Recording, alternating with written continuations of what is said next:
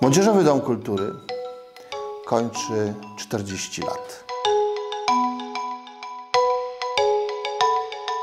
Postanowiliśmy, że nie będzie to wy wydarzenie jednorazowe typu koncert, a cykl wydarzeń kulturalnych na przestrzeni całego roku szkolnego 2022-2023. Jednym z tych wydarzeń jest e, wydanie tomiku poezji, który zawiera wiersze uczestników zajęć e, poetycko-literackich prowadzonych przez panią Iwonę Łęcką.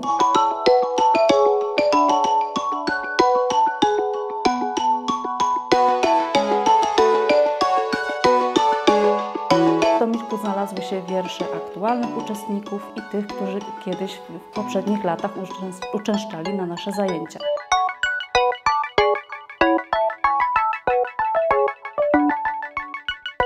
Teksty są oczywiście różnorodne, bo każdy uczestnik jest inny.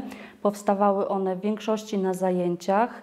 E, Inspirowane były działaniami, y, które mamy na zajęciach, y, na przykład y, oglądaniem filmów krótkometrażowych,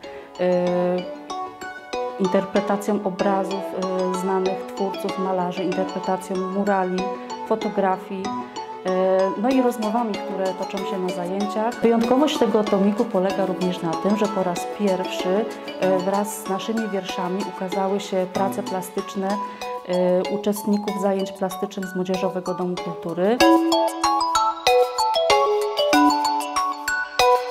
Nie bez przyczyny ten tomik nazywa się Papiery wartościowe, gdyż e, każdy wiersz jest e, na wagę złota.